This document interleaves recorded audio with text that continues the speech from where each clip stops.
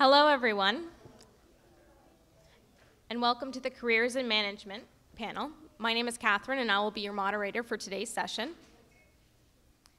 This afternoon, we will have representatives from a variety of organizations in the management industry who are here to share their expertise and experience with you. Before we get started, here are a few housekeeping items I'd like to review with you. In case of any emergency, please exit through your nearest fire exit. So there's one at the top here and as well as the door out here. Please make sure that your cell phone is turned off or muted entirely we kindly ask that you remain seated during the entirety of this session. Uh, it's only an hour and 15 minutes, so you have plenty of time to sit through. Please postpone all questions until the end of our panel discussion as we will have an open Q&A period at that time. As many of you know, this is a Learning Passport eligible event and you received a survey when you walked in. Please make sure that you have that survey completed entirely make sure that you've you're reading the, uh, the Likert scale and you're making sure that you're checking off the right boxes when you're filling out the, uh, how you're rating it, whether it's strongly satisfied or extremely dissatisfied. And before you come to get your Learning Passport stamp, you need to have that survey filled, uh, filled out completely, as well as part one in your Learning Passport. If you do not have your passport, we have activity pages that you can fill out, so you can staple that into your passport at a later date. We'll get started. Please describe briefly the organization you work for and your position, and we'll start with Catherine. Good afternoon, everyone. My name is Catherine DeCary. Oh, sorry, I forgot the first rule is to turn the mic on. Thank you, Catherine. No, Good afternoon, everyone. My name is Catherine DeCary. I'm Associate Vice President for TD Insurance. TD Insurance is a part of TD Bank Financial Group and uh, TD Bank Financial Group. Is the sound okay? Can everybody hear me? Okay. TD Bank Financial Group is one of the largest financial institutions in Canada and North America. And I've been with TD for 22 years um, in different roles. Uh, today, I lead the sales and service call centers for Atlantic Canada and Quebec. Next. You want to go? Sure. Hi, my name is Gina McFetridge. I'm the Vice President of Archway Insurance. Archway Insurance and uh, also co-owner. Uh, it's a, a, family business, an independent brokerage uh, based in Atlantic Canada and one of the largest uh, independent brokerages in the region. I've been with the company since 2010 and my role includes uh, general management of a number of our locations throughout the province, as well as marketing and communications. Good afternoon. I'm Caroline Campbell. I'm the Vice President of Human Resources with the Shannex Healthcare Group of Companies.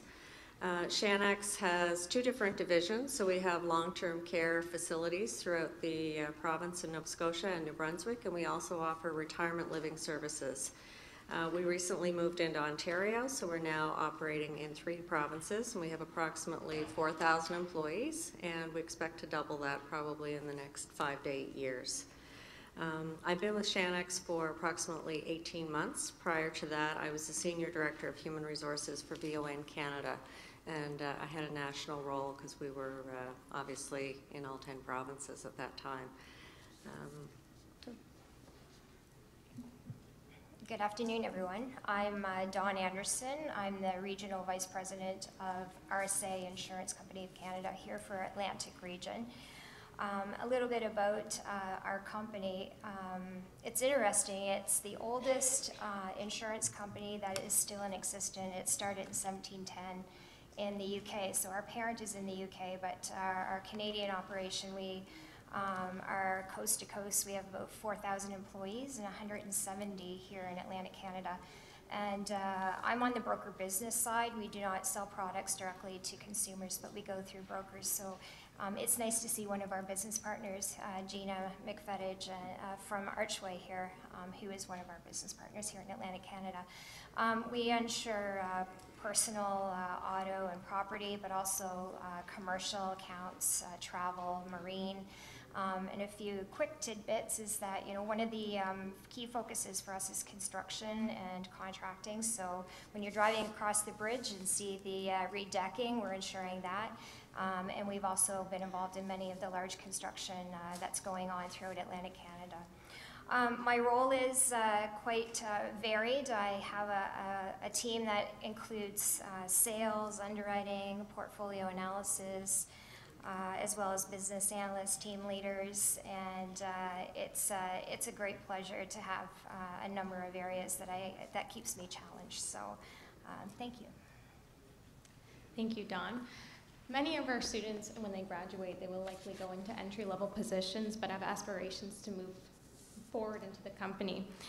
Can you speak on how you, your career has evolved and what you plan to do, starting with you, Dawn?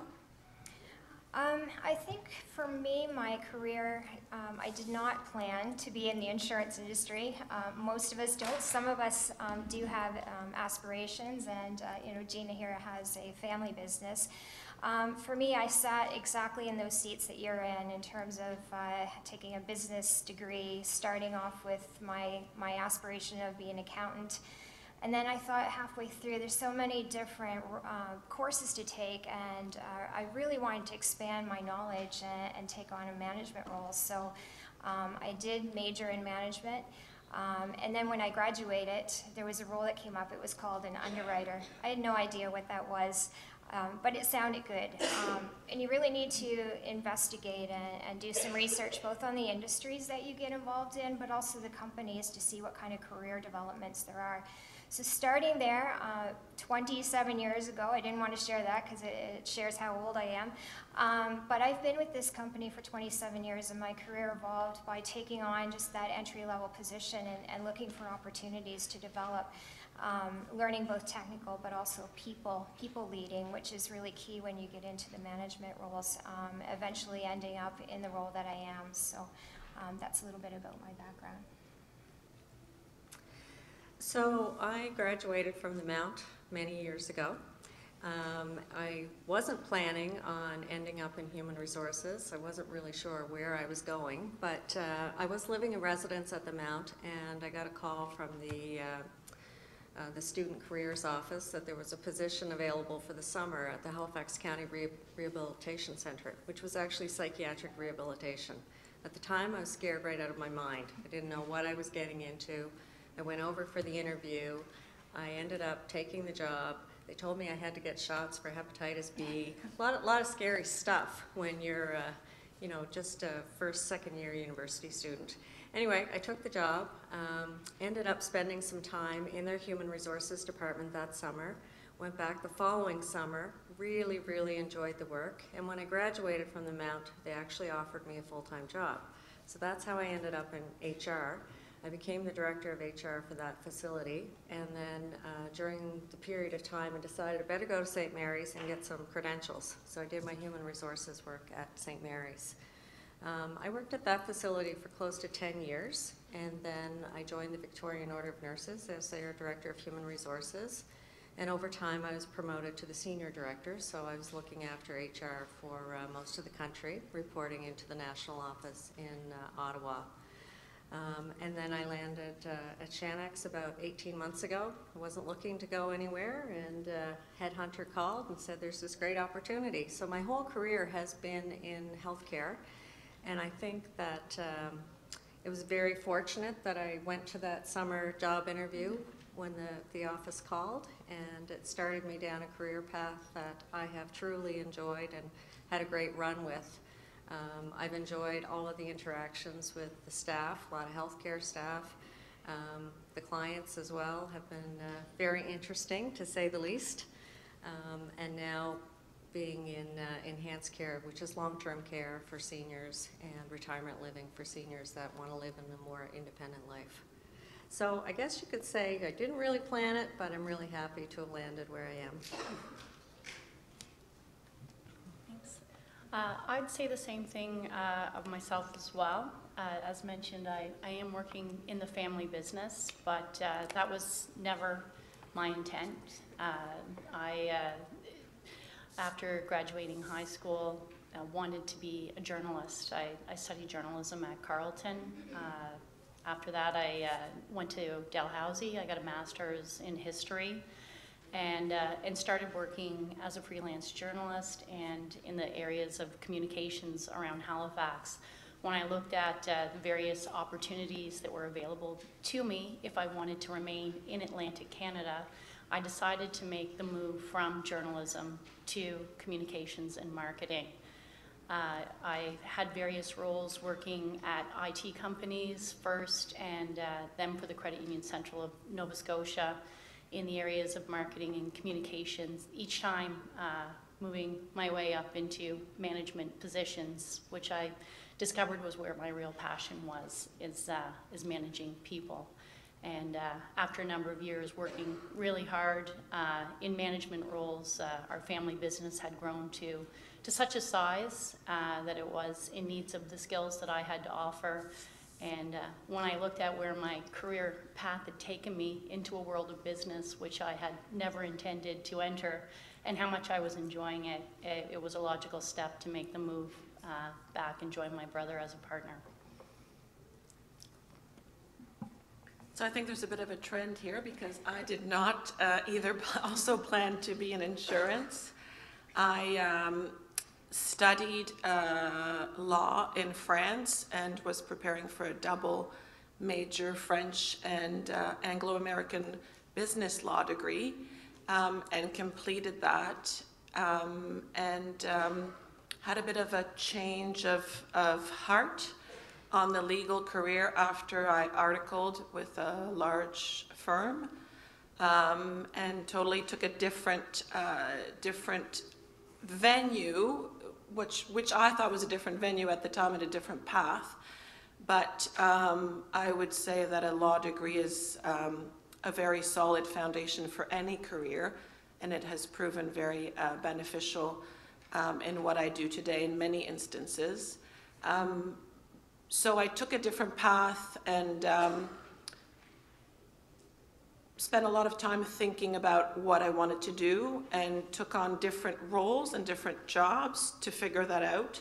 So I would say I did the work on both ends, um, did the work actually in the field trying different jobs and different uh, roles and also really thinking about it and asking people questions and um, asking for support of others in terms of what I was naturally good at, what were some of the perhaps obviously obvious elements that I wasn't, uh, you know, that weren't a natural tendency and try to forge my way uh, through that. And I landed in insurance and I started at a entry level position. So I uh, was an insurance advisor and then uh, became a claims uh, adjuster.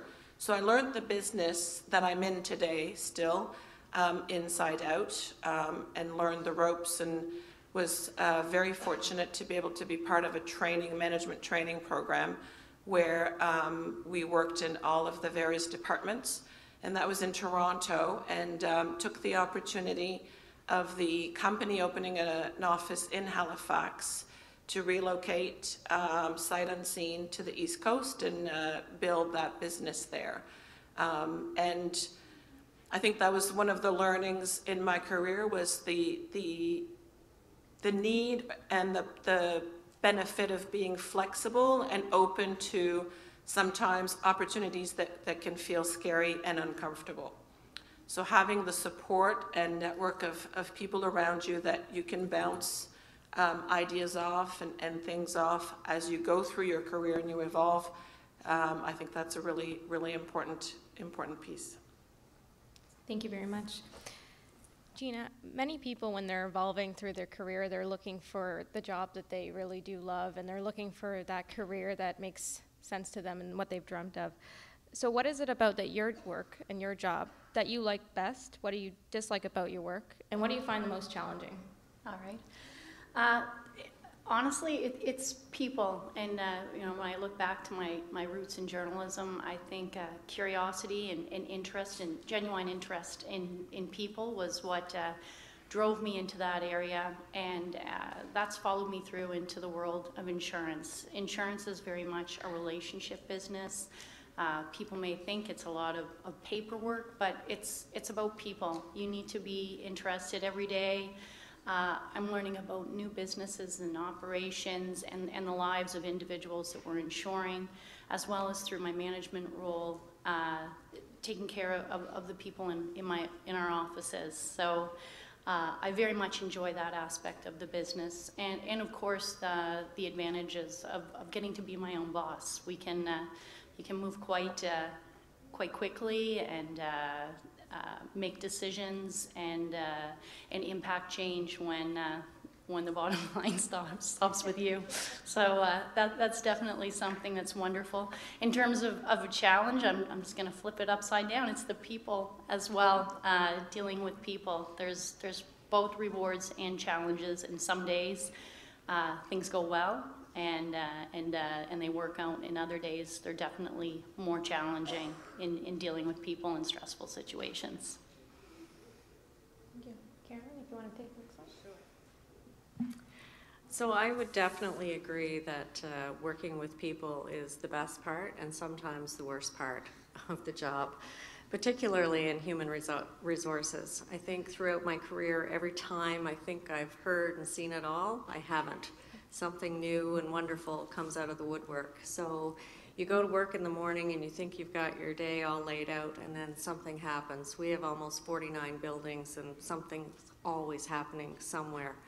Um, so, you know, the people part is incredible. I love uh, the recruitment side of the business, hiring new employees, you know, trying to find that uh, next manager, director, executive to join our team is uh, very rewarding when you're, you're building a team for the future. Um, at Shannex, we have a big growth agenda, so we seem to always be looking for new people. So that's really fun. And you would think in healthcare we're only looking for nurses and LPNs and that kind of thing, but it's actually quite the contrary. Um, I've always enjoyed working with the unions, and uh, it can be very challenging. I enjoy the negotiations that happen. Um, we're in a very challenging time right now, and uh, we're waiting to see what's going to happen. We're working out our essential services um, plans for all of our collective agreements in the province of Nova Scotia. So we're anxiously awaiting to see where all of that's going to go. But uh, healthcare is uh, is uh, bargaining at the acute care level right now, so it hasn't really hit Shannex yet. Uh, so that's a lot of fun. Um, I personally thrive on growth and change and probably even a little bit of chaos. So if you like that kind of thing, HR is a good, uh, good field for you.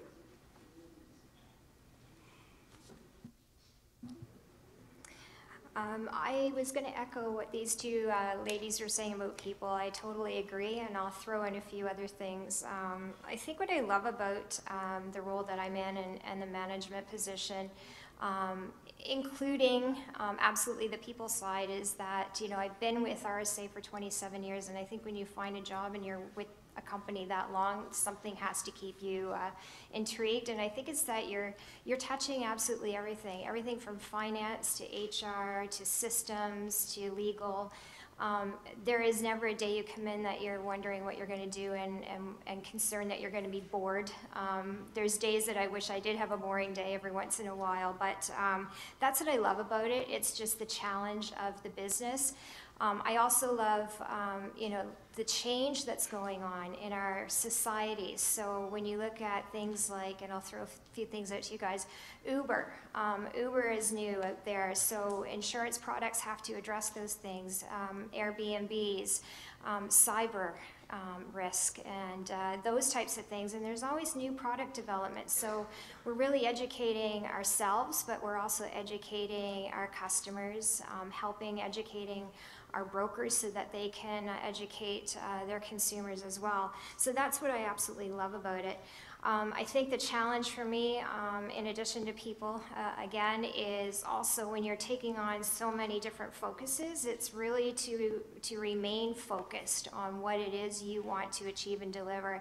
And that's part of the role of uh, managers to make sure that the people you're leading um, also remain focused. Um, you know, with the entrance of uh, emails a number of years ago, um, you know, we I, I, started in an environment where it was paper emails, and by the time you got something on your desk, it was two weeks old. Now we're getting um, 100, 150, 200 emails a day, and they are on a variety of issues and items, and you have to go through it and really prioritize. So that is a challenge, but I also I thrive on it. So uh, again, it's it's been a, an interesting role and uh, one that I absolutely enjoy. Um, to echo the comments earlier about people, I would say what I like the most about my job is um, the people side of it and the variety. Um, I get to work on many different uh, activities on many different fronts, from uh, office relocation to hiring to buil- building teams to uh, ensuring our clients are happy.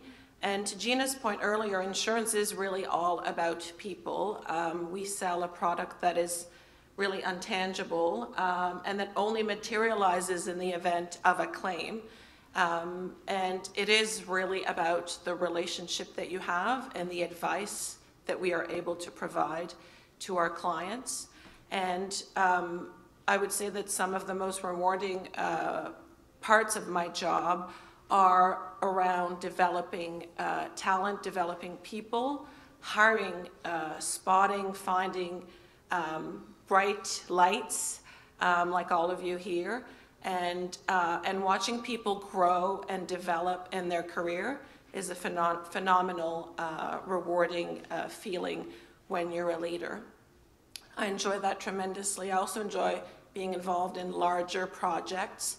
Um, leading large teams. So I have teams that are in Quebec and in Atlantic Canada. Um, so my teams have different markets that they serve, different uh, competition challenges, different environments. Um, and that's very interesting as well to try to think about business solutions in different contexts. I can uh, go from very high level in my role to uh, being involved in building maintenance issues that are irritants to my team. So, uh, and I enjoy the variety and the challenges that, you know, operating at a macro and micro level uh, bring.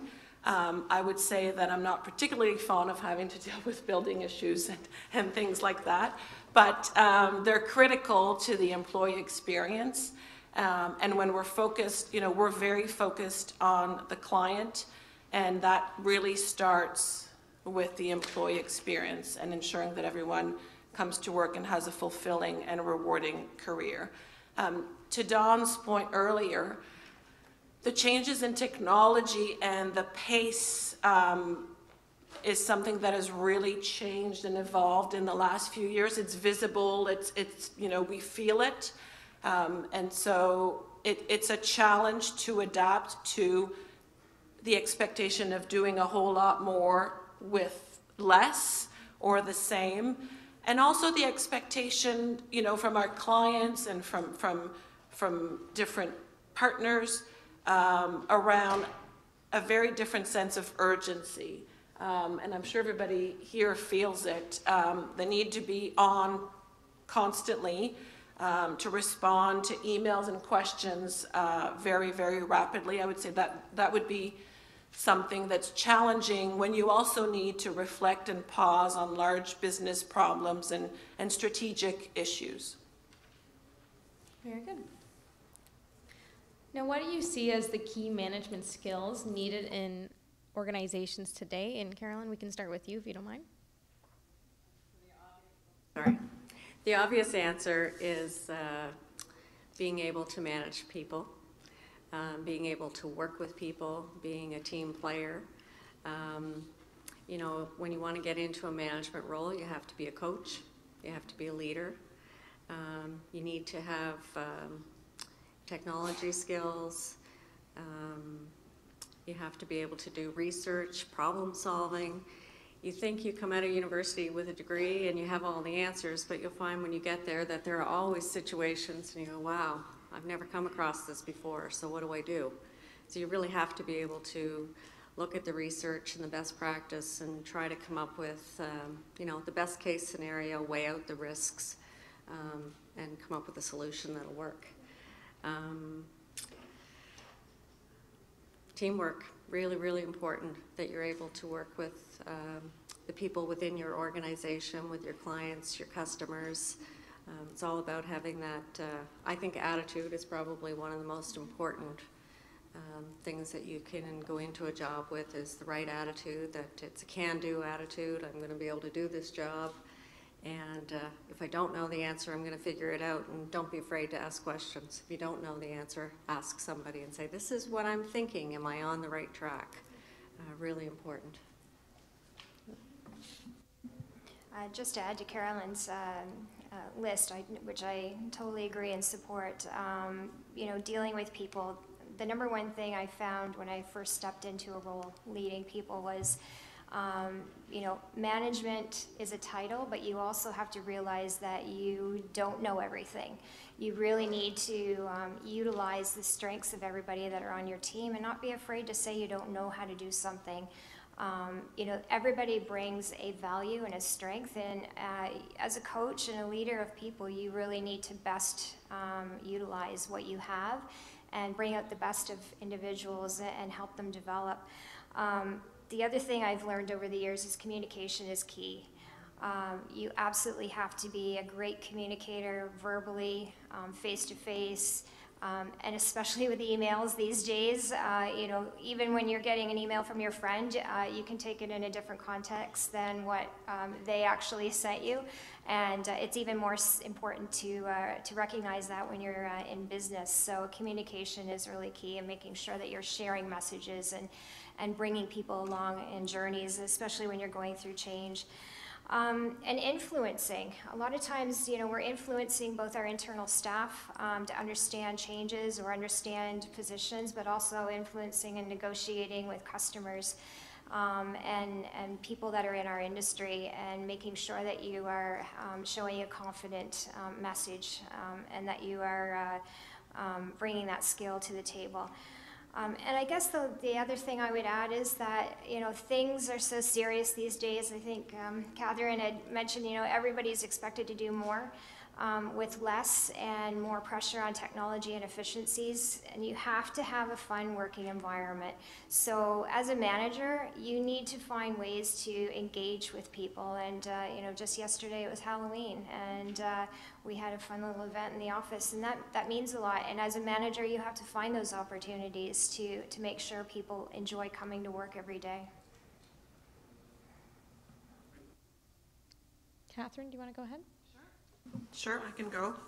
Um, So I won't repeat what everybody said, I'll just add, um, although those are all good points that I had uh, listed. And to the piece around skill, um, I would say skill is very important, but will is also critical. Um, Because skill without will is really um, nothing. So passion is just as important as skill. Interest in what you want to do or interest in learning is just as important as skill and will, will allow you to develop skill in time. Um, flexibility is a critical one, uh, the ability to go with the flow, roll with the punches, um, and take a lot, you know, large amounts of information and digest them quickly um, is also critical in fast-paced environments. Um, I would also, to echo Dawn's point, as a new leader or a seasoned leader, the ability to lead is, is, is, the cornerstone of that is reward and recognition, um, and celebrating small and large successes. And, and sometimes I think, I'm not sure how much time is spent on that um, during studies, but that is a huge component of real life uh, business uh, leading um, and very important. The other piece that's critical, um, and we spend a lot of time actually teaching, is change management. Um, in an ever changing business world uh, with many different aspects of transformation, the ability to lead others through critical masses of change is a very important skill. Um, and by that I mean your own ability to embrace change, adopt change, and then in turn to quickly make meaning of this change for your teams as a leader um, is a critical skill in today's environment. Thank you. I'm looking at my list here and going, check, check, check, check. So, uh, uh, uh, not, not to uh, double up on anything anyone said, but uh, to say that I, I absolutely agree with what everyone has, has said and would, would add, I guess, as a piece of, that maybe brings the, the communication piece, the people skills, and the change management skills together is a very strong vision for the company in which you're working for so that you can channel people's energy, get them enthusiastic about the projects that are coming, help them understand why you're changing, because every industry does change. It's not just insurance. When I worked in uh, financial sector, when I worked in IT, when I worked in media, when I talk to people working in a variety of different industries, this is this is the norm nowadays, and uh, we need to be able to, as leaders, decipher what's happening and explain that to our employees in a way that's meaningful to them and helps them understand how their role is contributing to the success of the overall company. Thank you. So Dawn, do you mind telling us the types of jobs that might be available for students considering a career in management? Um, when I considered this, um, I was reflecting back a bit of my history, and uh, when I graduated with a, a business degree and uh, I had that management major, I thought automatically I needed to have a job that had management in its title. And uh, I quickly learned that wasn't uh, available at the time. There was, um, you know, there were management roles, but they also required some experience. So you know, I, I guess I would stress that when you, you are looking, um, you know, consider that these are stepping stones to take you into those roles of leading people. Um, and at RSA, I'll speak specifically. Um, the part I enjoy is when I, I considered going into a role in the insurance industry. Um, there's various uh, different um, types of roles, everything from underwriting to getting involved in claims and claims adjusting, um, corporate services, there's marketing and sales, and we're moving into a new digital environment now, and there's managing those areas. Um, finance, and some of these roles are, are, managing portfolios or managing territories of businesses and not necessarily people. But once you have those um, building blocks, um, taking on leadership roles, so we, we have um, opportunities for team leaders leading underwriters. Um, there's supervisor roles, there's director roles, um, and then the role I'm in as the regional VP, there's, there's regional VP roles across Canada. Um, and I, I, think it's just being aware of how um, one particular role will lead to another and looking for those opportunities and uh, really understanding is, is leading people what you want to do. And uh, if it is, there are opportunities there.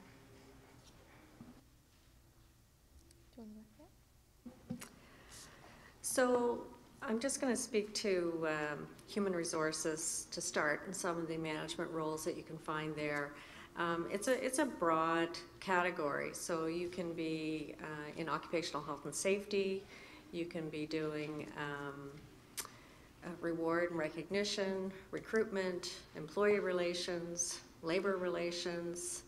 Uh, you can be an HR generalist, which is a little bit of everything. Um, there are workforce optimization folks. Um, we have someone that's actually a director of service excellence. We have training managers. Um, it's a it's a very very broad area, and there are a lot of opportunities within human resources. At Shannex, uh, being a healthcare company, um, we have a lot of management positions in um, various departments. So you could be in the culinary department, you could be in support services in a building, you could be in communications, marketing. We have sales in our retirement living buildings. We also have operational leaders, so general managers and administrators. And you don't necessarily have to be a nurse to lead one of these uh, facilities. Um, often someone with a management background is much more suited to that because you are looking at the finances and the sales and the marketing and the client service and that type of thing. Um, We also have a construction division, because we're always building new buildings. So we have construction managers, and we have purchasing managers, and, you know, you you name it. Uh, There's pretty much, if you, there's an area of interest that you have, you can put manager with that, and there's a role out there. Uh, Well, a a lot of the opportunities, I guess, within, within the world of insurance, uh, Dawn has, has mentioned them, and I, I would just echo that as well. And uh, uh, on the broker side in particular, add to that, uh, you know, we have managers in each of our offices. We have managers uh, that, that look after personal lines teams, managers that look after commercial lines teams. We have account managers, uh, we have supervisors at various level. We as well have accounting managers and, uh, and, and what have you. So as a growing brokerage uh, with, uh, as we continue to grow, the opportunities uh, to grow with the company and the creation of new management positions exist.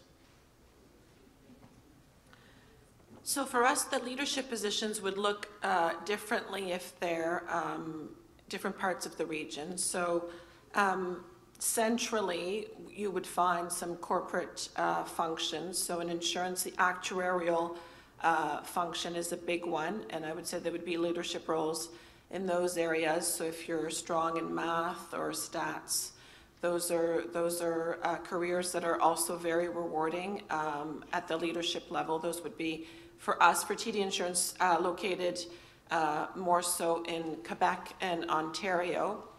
Um, we are a direct writer, so we handle all of our business our, ourselves. So a bit of a different model, which means that we have both sales and service team that sell the product, and we have a separate claims entity that handle the other side of the business. So we would have leadership roles uh, in Atlantic Canada in all of those uh, divisions. Um, and I, I would side with, with Dawn's comments earlier around the importance of, of learning the business um, and starting either as a student or as a young, you know, new graduate uh, and learning and learning about the business. It might not be something that's required in all types of business, but I think in insurance it makes a lot of sense to understand the technical piece for a little bit um, and then move into to leadership roles.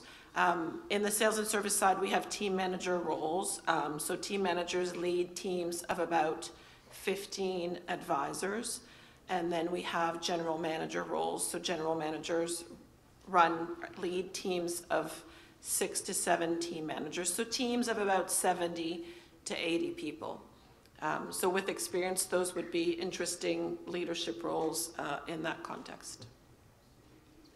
Awesome. Many students, including myself, do not know what career to pursue or where to even start. What advice do you have for a young person trying to decide on a career? And Catherine, if you don't mind, we can start with you. Sure, I Can definitely go first. Um, first and foremost, I would say to try to spend some time thinking about what you're passionate about. Um, I think if you are invested personally and have a passion for what you do, you will do a much better job. You will be more productive. You will be more fulfilled in your career. It might take you a few steps to get there, but I think um, introspection and thinking about what you're passionate about, what makes you happy in general in life, is a critical a critical start uh, point. Um, I would utilize all career counseling services that might be av available on campus as well. Um, I also think external resources, whether they be family or people in your networks, um, friends of your family, of your parents that have interesting roles or roles that you don't know and you don't understand. Those are great uh, questions to ask and ways to find out about different careers. Um, there's, I don't know how many jobs today that exist that didn't even exist, you know, 10 years ago, that we didn't even get to do or experience. And our children will again do jobs that don't exist today. So it's about being curious, asking questions. It's also about networking and getting yourselves to places where there are people who um, do perhaps the type of work that you like to do. I don't know if any of you know the difference between mentoring and sponsoring, um, but I would say recruiting a mentor and a sponsor, or even a few sponsors, would be would be critical uh, pieces. A mentor is someone who supports you and helps you in your career development, provides guidance uh, in terms of career, and a sponsor is someone typically within the organization that you work in, but if you're early on in your career, it could be somebody in the community, um, a center of influence in the community, and someone who will sponsor you, um, so knows you well, knows your values, your integrity, um, and knows your career and your skills, and can sponsor you to other associations. So can, in effect, recommend you for roles, introduce you to people as a sponsor. Um, and I would say the earlier you recruit and foster relationship with mentors and sponsors, um, you will gain a lot of value uh, with that. And I would say own own your development and own your career. Um, everybody, I'm sure, at this table has benefited from the support and help of others in their career in challenging times. And we're all happy, um, I don't want to speak I'm happy to, to pay it forward, and I do a lot of mentoring and sponsoring and supporting, and I meet a lot of people for, for, for coffee, just to bounce off ideas. Um, and I would say, don't be shy to ask um, for advice, for support, for a coffee chat, for a recommendation of someone else to meet um, as well to help you along the line. Um, the other tool that is really critical in your career is your development plan. And I don't know if that's something that's, um, that's shared with you at, at the university level or through career services, but in, in essence, a development plan is, is the plan of your career. It's a, it's a plan that you know changes uh, very frequently depending on what you're doing, but it crafts a little bit the path that you want to take to achieve a certain goal. And the development plan is really the tool that you use with your mentors and your sponsors to, to think about different career opportunities and, and challenges. Thank you very much, Catherine. Great. Absolutely. Uh, to, to second uh, Catherine, I know I myself had uh, a strong mentor early in my career and would, would recommend that uh, each of you as well find, uh, find that mentor and, and sponsor to help you, you along. Uh, with regards to, to not knowing what to pursue, I would say don't be afraid to try something.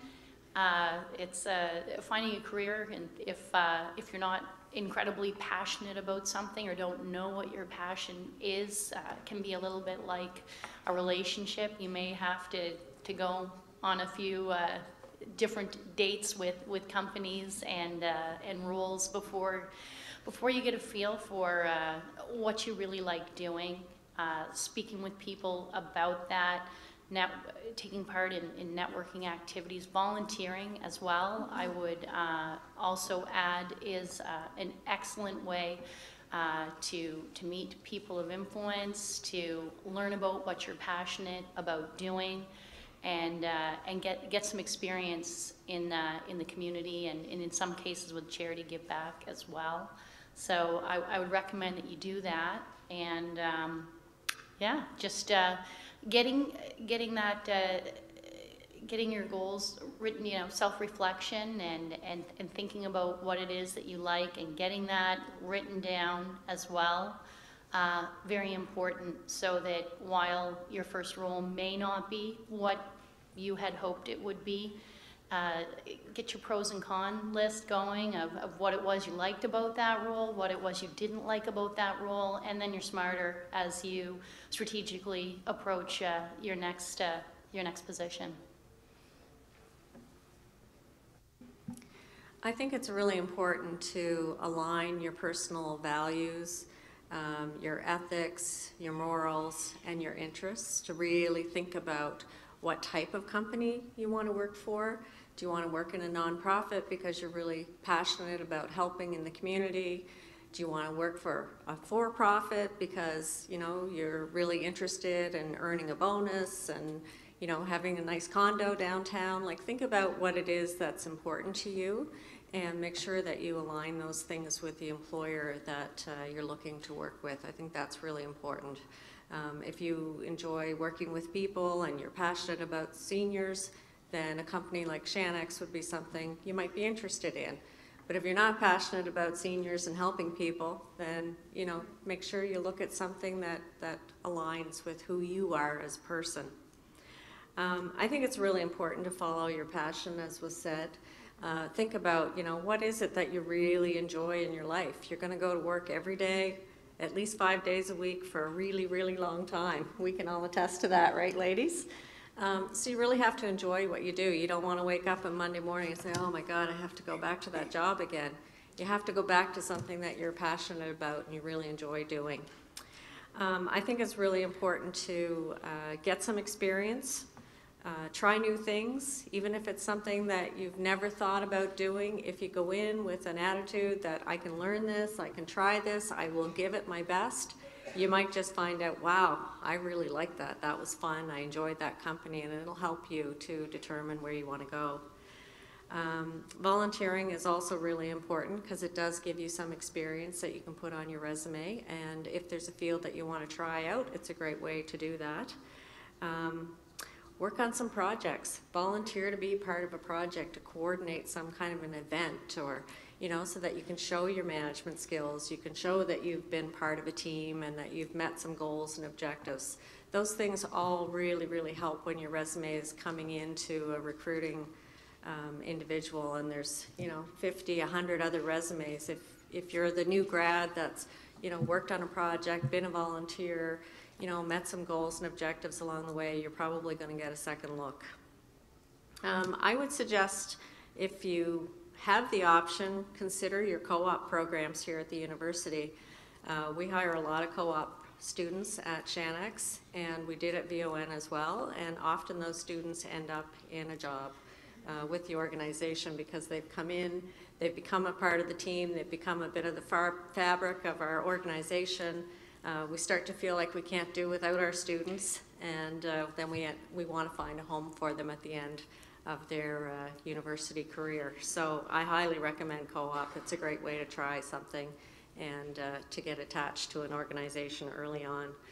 And short of that, I would say, you know, go out there and talk to some of your neighbors and friends and family and ask them who they know. And, you know, as Catherine said, just email somebody, pick up the phone and say, look, I am really interested in this career field and can I buy you a coffee? Can you just give me some little insight into what it is you do every day? And I think you'll find that nine times out of 10, people will find the time for you. So that's my advice. I'm going to have a hard time adding to this because everything they've said I've had on my list. Um, I think the only other things I would I would stress is that there's no right or wrong answer. Um, you know, it's it's a journey that you're on, and, and I just stress that uh, you know keep that in mind if you end up in you know if you start in a role and it just doesn't feel right, you're learning still by being in that role, and it will take you down that path of the experience that you can pick up um, wherever you start. Um, the other piece is that I, I, was reflecting some of the friends and, and, colleagues that I've had over the years and, and, how their roles have changed. And one individual that started and was in a management position at the company we were in actually had an adult education background as well and um, decided, you know, he didn't really want to lead people from a business side of things, but his passion was um, education and training, and ended up leading a, uh, a training development school that we've had in the, the in Atlantic Canada for a number of years. So, you know, it's not that you have to look um, to other companies if you're in a role within a company that you start with. Um, it's look to see what your passion is, as been stated with the three ladies before me, and uh, if there's something that you can bring to that current role or that current job or that current company you're in. Um, and, and, again, um, you know, education doesn't end um, the minute you walk out the door here or the degree that you come out with. Education um, is just beginning when you get in the workforce, whether it's informal or formal. And uh, Facebook is a lovely place to go. And I uh, saw one of my um, my high school uh, friends uh, was a physician and just graduated with her MBA and decided she wanted to get into business. So um, she, you know she's bringing the medical background she has as well. So again, it is a journey, um, but I I really the, the word I loved um, that came out of the three colleagues I have here is your passion and what makes you happy. That actually makes and brings success to whatever you do. Thank you. So this question kind of touches on that as well, but it, we're, we're looking for advice on how university students can prepare themselves for success in today's business world. Can you touch on your own personal experience and maybe what you would change in giving advice to the students? If you want to start with uh, Gina. Sure. What, what I would say to all of you and uh, is, is to be curious and uh, that uh, to never stop learning. So uh, really, what you're learning here at university is not a particular skill; it's how to learn. And uh, if you're going to be successful in your career, you, you are going to continually need to upgrade soft skills as well as hard management skills and uh, technical skills on the job. So understand that an investment in your career is uh, a lifelong love of learning. Uh, I'd also uh, recommend that everyone be patient. Uh, as, as mentioned here, you know, uh, I, I think it's fair to say that uh, no one's first job on this panel was their dream job. And as we've learned as well, most of us didn't end up staying in the field where we started. But look at it as a stepping stone. Get your, get your, uh, your plan mapped out, uh, even if it's just, you know, you don't know five years out, two to three years out. And uh, I can, I can remember going into uh, an interview at one of the companies I worked with, and uh, they said, "Where do you see yourself in three to five years?" And I looked across at my uh, soon-to-be boss, and I said, "Well, um, not not to be rude, but I'd like to have your job." And and uh, and I and I did have I did get his job when he retired, uh, and uh, it, it's not sounding quite right, but. Uh, uh, but don't be afraid to, to let people know when you when you're what your passion is and what you want. You may think that you're displaying it every day in your work, uh, and they may be seeing somebody who's very good in their current position and happy, and not understand that you're looking to move forward into the company, and that while you may not begin in a management role, it's it's your goal to end up there. So make sure that you articulate that not just to yourself and your own private plans and with your mentors, but with your employer as well. So that if there are opportunities uh, to grow within that organization, that you're on the top of their list of people that they're looking at for that position. Um, yeah, that's. Uh, think that's all. I'll leave it something for somebody else to say. I would suggest that um, you try to be as well-rounded as possible when you come out of university. So uh, be involved in the university community, um, sit on committees, uh, play sports, be volunteers, um, do everything that you can to show that you have the ability to multitask, that you're a full-time student, you had two part-time jobs, you sat, oops, sorry, you sat on a committee. Um, find ways to excel at everything you do. And um, today's world is so, so busy that you have to be able to juggle probably eight balls at a time. So if you can do that while you're in university, that's going to uh, put you in good stead when you go to find a job. Um, be as outgoing as possible. If you're shy, work really hard to uh, come out of your shell and talk to people, ask questions. Don't be the one that sits in the back afraid to uh, stand up, put your hand up, and say, I'd like to be involved in that. Um, be your own advocate. The more you can uh, push yourself forward, uh, the better off you're going to be in the business world.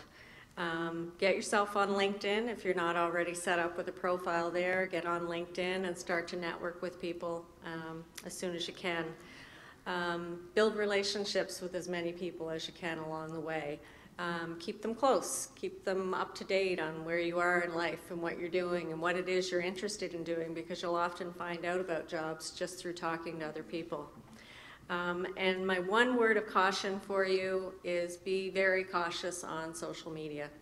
Um, many, many employers now check Facebook and, you know, all those social media outlets before, before they hire someone. So something that you're posting today may come back and haunt you later. So just keep that in mind.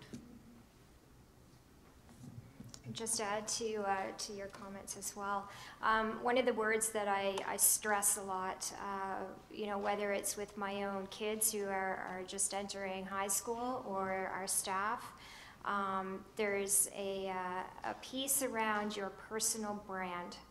Um, and again, that brand is a reflection of who you are, um, whether it's on a professional basis, on a personal basis, and, uh, and again, social media is very important. Um, so make sure that you're presenting who you want to be selling um, and representing uh, when you're out in the workforce and, uh, and, and gaining that uh, acknowledgement from the, the volunteer, the, the volunteer work you're doing, the, the actual work you're doing, and, uh, and how you're interacting with uh, society and your community. Um, and I think just, uh, I, I was thinking about this personal brand thing, and, uh, and when you're in and, and discussing um, opportunities with any markets or companies, um, you know, don't undersell um, the interactions that you have on a day-to-day basis with your current part-time jobs or full-time jobs, or even your volunteer um, uh, work, because you, you don't realize how important it is what, to share some of these things. And again, I, I, I try to share examples so that you understand kind of where I'm going.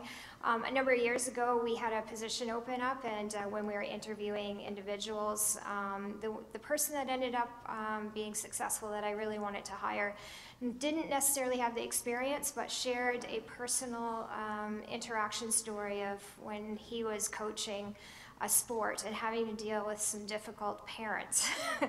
and anybody that is in the, the sporting world uh, knows that when you're dealing with kids, you're also dealing with families and parents. And I was very, very impressed on um, on his success in, in dealing with uh, with situations. And uh, I thought, you know, wow, this is actually a reflection of who he is and how he's going to interact very positively with our staff, being a team mem- member, but also with our, our customers and our brokers. And uh, I was happy that I was not wrong. So, and he's he's quite successful today. So, you know, remember to to, to share those things and, and reflect on what your personal brand is. Um, just to add uh, two pieces, because a lot has been said.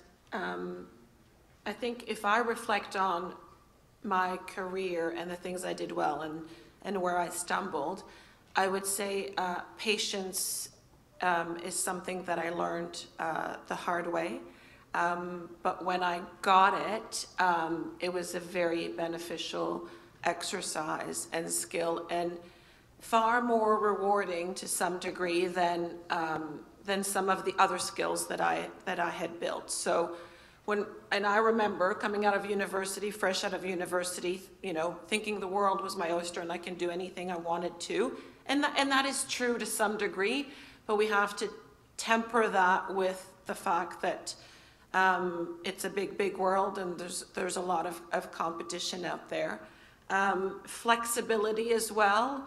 Um, when I came out of university, I had a very uh, prescribed idea or notion of what working, um, what a leadership role was going to be for some reason, and, and quickly realized that the real world was, was different, more fluid, um, and I would say being flexible, having the ability to go with the flow and being flexible is a, is a huge asset. And lastly, I would say ask for feedback. Um, feedback is a gift, and ask for feedback from a lot of people, and ask for feedback often, and ask for honest feedback. And whether it's positive or constructive, it's, it's a beautiful gift, and if you act on it, you will be able to propel that much faster in your, in your development. Thank you very much, ladies. Do you have any other final comments to add? And anyone can answer this. No? I just have one final comment. I, I think I've mentioned it before, but uh, never stop learning. Um, it's such a gift to give yourself. Um, and just to share a personal note, um, I, I shared with you when I started uh, my business degree at St. Mary's University. My intent was to be an accountant, and I quickly changed my mind in the middle of my degree. Um, and I actually did a CPA accounting designation and completed that three years ago. So, a number of years out of university, it was extremely tough but very satisfying, and it actually helped elevate and, and continue my career. So, you know, keep that in mind um, when you leave. Um, you know, the university in terms of what you want to do. There's also, um, wherever you go, there's uh, continuing education and, and learning about the industry you're in. So look for those opportunities because education is never a waste. It's, it's always a gift and uh, it just adds to your, your skill and your development. And I guess if I was going to add a comment, it would be, don't be afraid to fail or make mistakes. Just make sure that you learn from them and that you do something different the next time because sometimes life's best experience is when you've done something the hard way. Thank you, panelists, for sharing your answers. We will now open the floor to the, uh, the Q&A portion of this session. Once a question has been asked, I will need to repeat the question for our students at NSCC so they are in full understanding of what's going on. Do we have any questions from the audience? Yeah. Okay.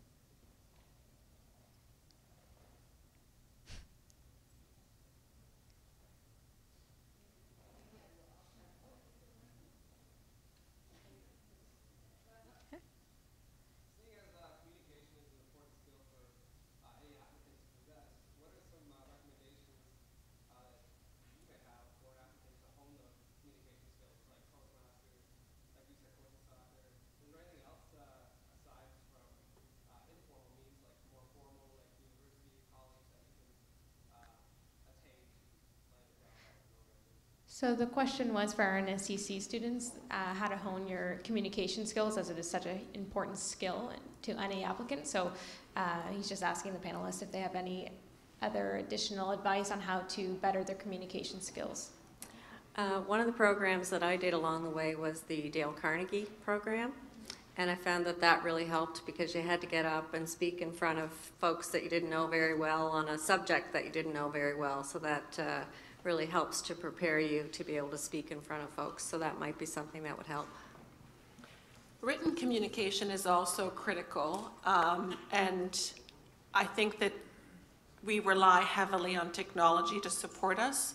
But I would say that reading um, and reading varied uh, materials and enhancing your vocabulary is also a great way to hone your written communication skills. And maybe the journalist is in a better position to, to, to speak about written communication skills than me, but I, I would say that that's something that I see sometimes is, is an opportunity um, in, in, in the workforce for sure.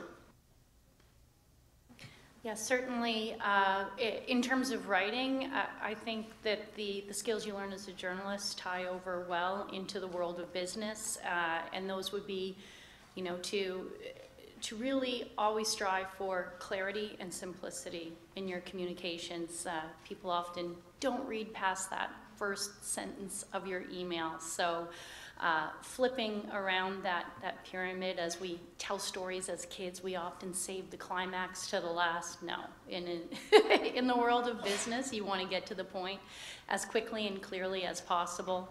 And, uh, and also, uh, there's, there's lots of great reading that you can do in terms of uh, how to develop that skill. And uh, most importantly, I would say, determine what the right uh, media or medium is in order to communicate. Uh, email is great for something very simplistic. If you've got something that can be taken the wrong way, you're probably going to want to pick up the phone or walk down the hall and have that conversation with the person face to face. And if it's something more uh, in, developed and involved, maybe you're going to want to provide a, an executive report to the person so that they can print that off and uh, take a little bit of extra time to digest it.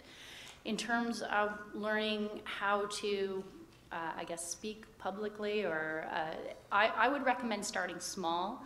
Uh, whether you know it's it's uh, coaching a sports team, getting involved in a board, uh, but uh, and uh, and just volunteering to take on that project because the only way to get comfortable speaking in public is to speak in public. And so start with a small, friendly group that you know is, is going to forgive you if you stumble a little bit, and, and work your way up from there. And it'll come over time. You'll become more natural. And again, take that, that feedback that people give you. You know, gee, you were kind of stiff there, and, and, uh, and, uh, and, and work on it. And practice in front of the mirror, record yourself. So, yeah. I find a lot of students, when they uh, come into their first job, um, they're scared of the telephone for some reason. So when you say, can you call this government department, or, you know, call somebody and ask these questions, uh, and in HR, we're always checking references, so that's one of the first things we always get students to do, is start checking references, making those calls to businesses and asking the questions. So don't be afraid of the phone. Thank you very much. Any other questions from our audience?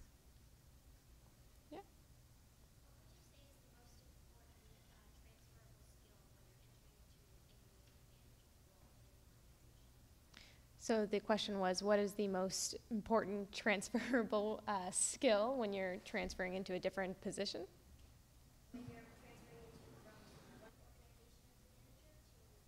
Sorry, when you're transferring from um, one organization to another in a management role. I think one of the key things that uh, I picked up from all four of us on the panel was the whole people management. Um, regardless what industry you go in, there's you know you can learn about the business, you can learn the technical side of things, but to really manage and lead people, um, along with um, being a great communicator, um, that's transferable no, no matter where you go. And from the conversations that we had, we had today, um, and in the fast-paced environment, I would say your ability to manage through change would also be extremely uh, transferable at, at a leader level.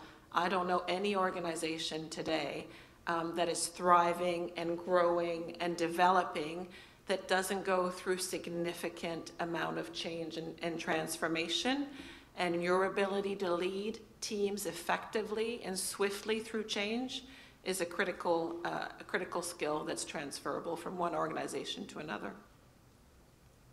I would just sort of build on those two, two points as well. Uh, and, and that's the, the ability to uh, basically synthesize and, and digest a lot of, of information. So we have stuff coming at us, and uh, the ability to prioritize that information and, uh, and create meaning and, uh, uh, and be able to determine what gets done today and maybe what gets done tomorrow as well is a very transferable skill.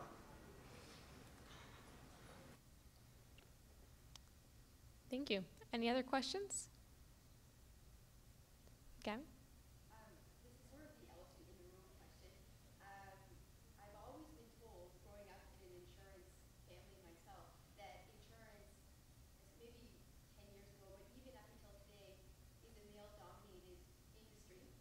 We have at least three of you, three of you, who are in the insurance um, sector. You're uh, in in in um, very impressive positions. Ha- Has that been a challenge for you as a woman working in a male-dominated industry? So the question was, um, typically in the past few years, and if not 10 years or so, the industry, the insurance industry has been a male-dominated uh, industry, and we have a, a panel of all uh, females, and three of the four are in insurance. So the question is, uh, is it challenging? How is it uh, being a, a leading in a leading role as a female in the insurance industry? Great question. Thank you for bringing that up. I was uh, I was thrilled to see uh, four ladies on the panel here today. And uh, yes, the insurance industry traditionally, and I'm speaking from um, the company's standpoint, um, has been male dominated at the top level. And uh, a lot of the entry level or the the um, the day-to-day roles were dominated by female um, uh, employees. That has been shifted over the years. I think many companies are looking at diversity. Um, they're really looking at promoting women to more senior levels. And uh, with the company that I'm with, RSA, they are very aware of how many female roles are at the board table, how many are in the senior executive levels, and they're really trying to balance that out. Um, for me personally, I, I have a coach um, that I had uh, been working with over the last couple of years, and I think it, it is, um, you know, working through a personal confidence piece, um, knowing that whether you're male or female, that you deserve the role that you're in, and uh, that everybody at the table, um, regardless of gender, you have a say, um, and you have you have a, a, a right to to have a voice at the table. Um, and also make sure that you're, you're, you're speaking up. Um, you know, you've been given that voice, so uh, use it. And it goes back to the communication question that came up. Don't be afraid to speak up. Don't be afraid to take on um, a challenge or ask a question. Um, or deliver a message. Um, and that's where, as women, I believe that we, we're coming a long way and uh, we're, we're gaining and, and getting support in the companies that we're in. It's, um, we're in a much better position or situation today than we were 10, 20 years ago, but it's, it's, it is a reality and a challenge very much still today, generally speaking. Um, like RSA, TD in general has very, is very focused on diversity uh, globally, whether it be um, uh, all kinds of diversity, um, including a big focus on women in leadership and actually uh, paying special attention and effort to um, women development into leadership roles, uh, keeping track, monitoring, uh, making sure that there's progress made in terms of the number of women that sit both on our corporate board and who hold executive uh, positions. And, and men are part of the solution as well. And um, it's a common it's a common activity and a common goal to achieve. And it makes sense. Society is made of men, men and women. And so um, it's natural and it makes sense that all levels of companies are represented equally uh, by men and women. I, would agree with that. Uh, uh, certainly, uh, not just in the world of in, insurance, but in, in the world of I, IT and finance, uh, uh, both, all, all three, I should say, male, traditionally male-dominated fields, and I am proud of the progress that has been made in the world of insurance. I won't say that there that there's still aren't things that go on that uh, sometimes, you know, you, you decide whether you're going to bite your tongue or whether you're going to have something to say about it. Um, certainly at, at our company, we're very fortunate to have uh, a strong management team made up of men and women. And actually, as I doing the mental math in my head, we do have more women in leadership roles at Archway at this point. Um, I think just a result of the fact that uh, traditionally more have gone into the entry level positions and, and therefore have, have spent time and, and developed themselves into their careers. Uh, I think it's important to have a balance of, of both men and women, and I think we need to be respectful of each other. And uh, as, as women in particular, I would say uh, that uh, we need to be advocates and not adversaries. And uh, uh, whether male or female, work together to, to build our careers and, and our success and not be fearful of uh, speaking our mind and learning not to be aggressive, but certainly assertive and, and understand that it's our right to be there as much as everyone else. Thank you very much. Thank you for your questions, everyone. Um, that wraps up our careers and management panel. Um, thank you once again, everyone, for agreeing to participate. We're so grateful for you taking the time out of your day today. Your insight and expertise serves as a huge asset to everyone in this room, and we really, truly appreciate you taking your time. Uh, in terms of the Learning Passport stamps, please make sure that you see either myself, Miriam, or uh, Gabrielle uh, to receive your stamp. And, um, or sorry, just myself and Miriam. Just make sure that you hand us in your survey, and you're more than welcome to come up and speak with our panelists if you wish before you head out. But thank you very much, everyone, for attending, and have a great day.